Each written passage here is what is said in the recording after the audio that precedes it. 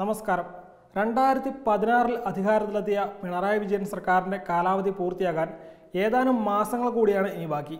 ഭരണകാലയളവ് തീരാനിരിക്കെ ഇതിനു മുൻപ് ഒരിക്കലും കേരളത്തിലെ ഒരു സർക്കാരും നേരിടേണ്ടി വന്നിട്ടില്ലാത്ത വിധത്തിലുള്ള അത്യന്തം ഗുരുതരമായ ആരോപണങ്ങളാണ് പിണറായി സർക്കാർ നേരിടുന്നത്. ഉമ്മൻചാണ്ടിയുടെ കാലത്ത് സരിത എസ് നായർ എങ്ങനെയായിരുന്നു? അതുപോലെ തന്നെ സരിതയെ വെല്ലുന്ന വിവാദ നായികയാണ് ഇപ്പോൾ സ്വപ്ന.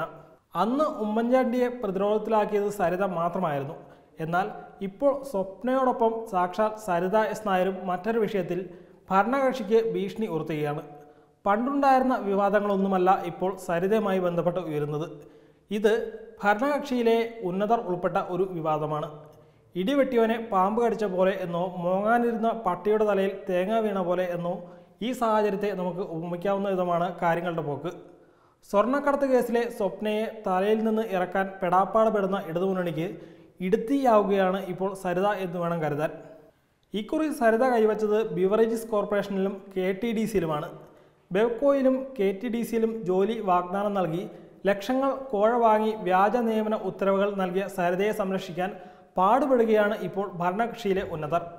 ഈ സർക്കാരിന്റെ കാലത്ത് സരിത നടത്തിയ തട്ടിപ്പുകൾ പുറത്തു വന്നാൽ പിണറായി സർക്കാരിലെ പല പ്രമുഖരും തലവഴി മുണ്ടിട്ട് കണ്ടം വഴി ഓടേണ്ട അവസ്ഥയിലേക്ക് കാര്യങ്ങൾ പോയേക്കും.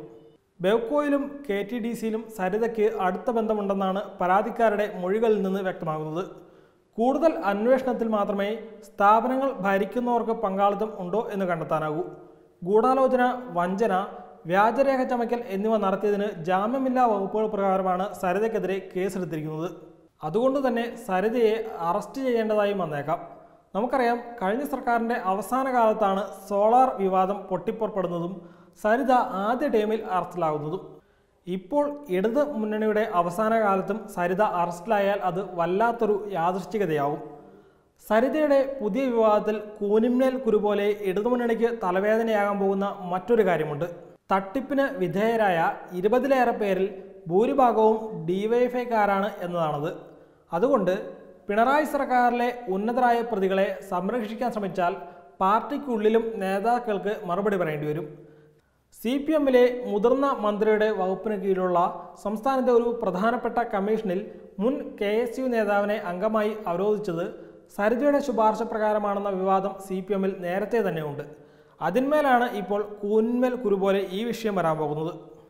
അതുപോലെ മറ്റൊരു ട്വിസ്റ്റ് ഈ കേസിൽ സി പി എമ്മിനൊപ്പം സി പി ഐയും ഉണ്ട് എന്നതാണ്. സ്വർണക്കടത്ത് കേസും സ്പ്രിംഗ്ലറും ലൈഫ് മിഷനും മയക്കുമരുന്നുമെല്ലാം സി പി എമ്മിന്റെ മാത്രം ബാധ്യതയായിരുന്നെങ്കിൽ സരിത കേസ് സി പി ഐക്കും ബാധ്യതയാകാൻ പോവുകയാണ്.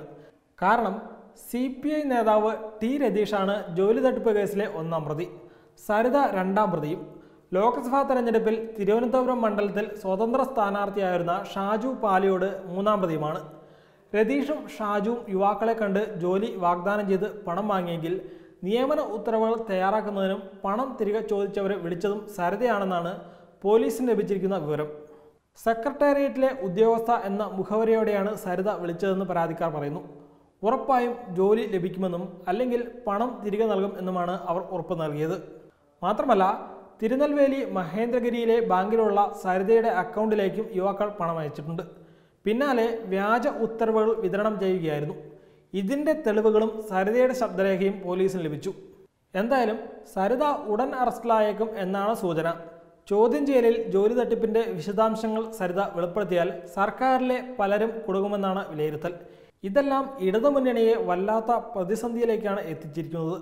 സ്വപ്നയെ തലയിൽ നിന്നിറക്കാൻ നാല് വീതം മൂന്ന് നേരം ക്യാപ്സൂൾ ഇറക്കുന്ന സി പി എമ്മുകാർ ഇനി സരിതയെ എങ്ങനെ ന്യായീകരിക്കും എന്ന് കണ്ടറിയണം. रेपडस तत्वमयी